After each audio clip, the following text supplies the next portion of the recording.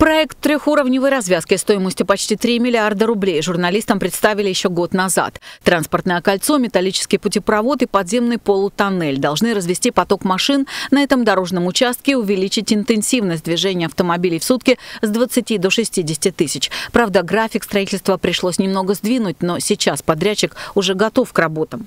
Для нас это несложный проект. Мы таких объектов по всем регионам России построили очень много. Здесь единственное, что, как и везде, сложность в чем? Это работа в городе. Это коммуникации, это жители, это не просто пустое место, где никто ничего не мешает.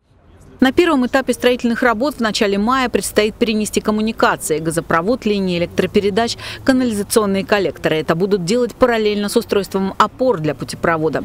Кстати, строительную площадку уже в ближайшее время огородят. Здесь появятся бетонные блоки и новые дорожные знаки. Пешеходам придется участок за забором обходить, а вот схема движения транспорта до следующего года не поменяется, заверил сегодня представитель управления автодорог.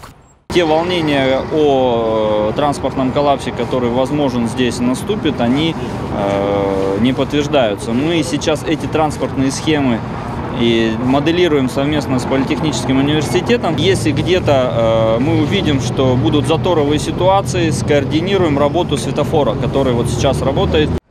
Чтобы избежать транспортных заторов, планируют также расширить шоссе «Ленточный бор» на перекрестке с Южным трактом и часть автодороги на стыке с федеральной трассой. Хвойные деревья, которые предстоит вырубить, впоследствии планируют восстановить. Но расширение дороги оставят, ведь оно необходимо для строительства путепровода. Кстати, чтобы начать строительство развязки, пришлось снести несколько помещений, правда, нежилых.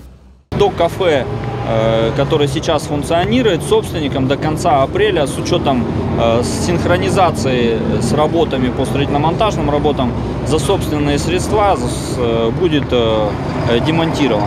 И собственник планирует переехать в новое здание. После перекладки инженерных коммуникаций подрядчик приступит к возведению первых опор для металлического путепровода. А в целом строительство многоуровневой развязки должны завершить до конца 2024 года. График планирует контролировать губернатор края. Татьяна Голубева, Александр Антропов. День с толком.